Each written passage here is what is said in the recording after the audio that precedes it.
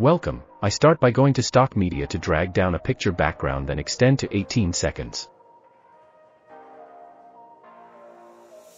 Now add a video track then drag down a picture, right click to crop to fit then reduce to 3 seconds.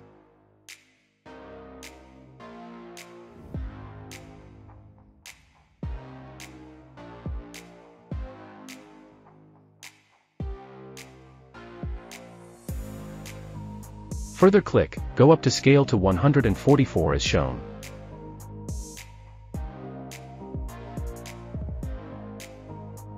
Click then go up apply pan and zoom as shown.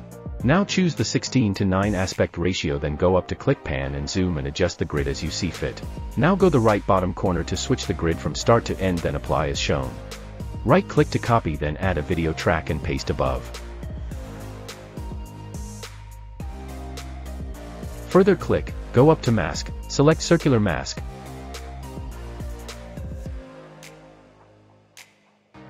Hide the first picture for clear visibility, and go up to scroll down to increase height to 50, scale to 64 then scroll down to increase the blur strength to 1.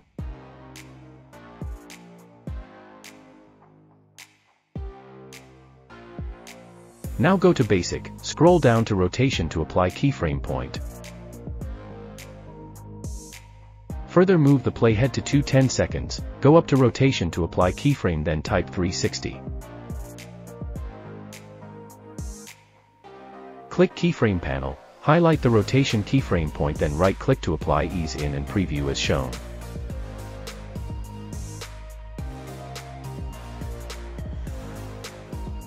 Further right click to copy, add a video track and paste above. Now click, go up to mask, under mask, only go scale to type 44. Again, go to basic, click to the first keyframe then go up to rotation to type 360. Click the second keyframe then go up to restore back to 0 and preview as shown.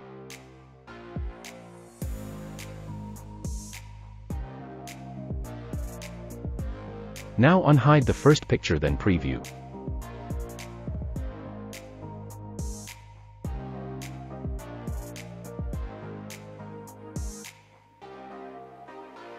Now highlight all three pictures, right-click to copy, select track 2 then paste as many as you as shown.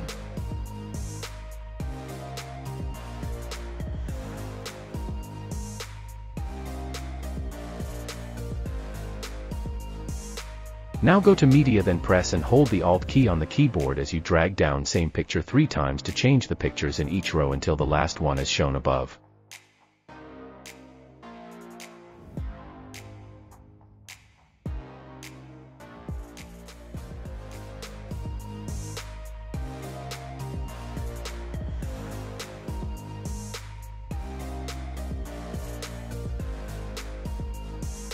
Further highlight each row, then right-click to apply compound clip to each row until the last one.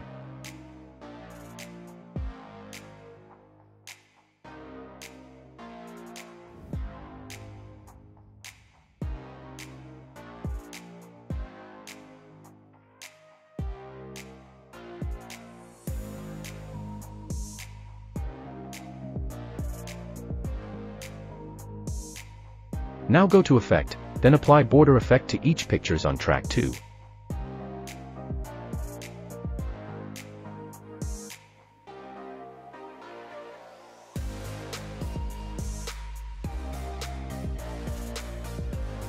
Further click each picture, go to Effect to adjust border blur to 1 as shown for each picture.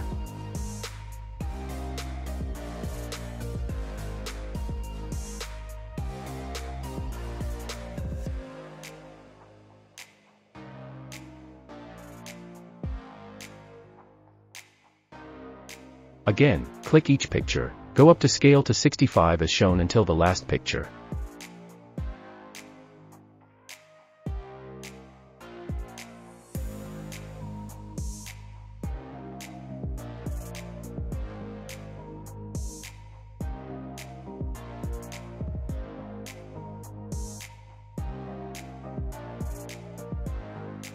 Highlight all pictures on track 2, then right-click to close the gaps as shown.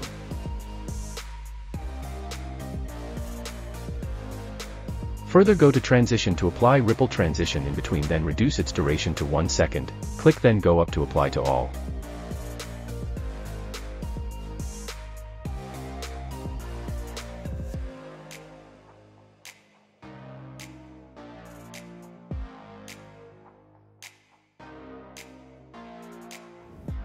Lastly go to Effect, Undershake Effect, Drag Down Drop Bounce Effect.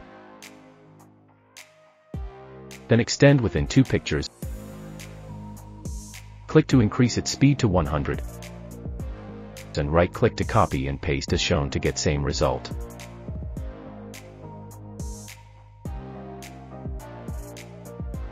To have free access to the template with multiple pictures kindly go to the description. Thank you, you are awesome.